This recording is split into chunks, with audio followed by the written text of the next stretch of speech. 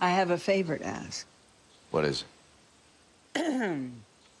My sister Betty's daughter had a daughter. That makes her my grandniece.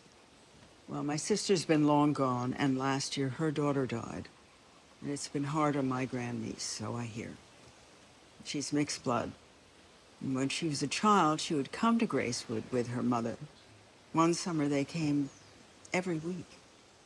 And Maya, that's her name, was enchanted. Enchanting. Just to see her play in the gardens. Here's a picture. When her parents broke up, he was a bum. They moved away. You know how she ended up with him. No accounting for people's taste. It was okay with me, of course.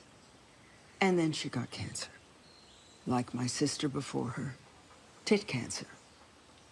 Well, Maya's life apparently hasn't turned out so well. She got in a funk, dropped out of school, and then lifestyle choices, I believe they call them. A bad crowd. It was only a matter of time. I felt I should do something. I would like you to take Maya on as an apprentice. I will provide transportation and minimum wage with adjustments. You will teach her how to tend a garden, as well as classes in horticulture and so forth. What age is she? I'm not sure. 20? No, more. How long has it been since you've seen her? I haven't.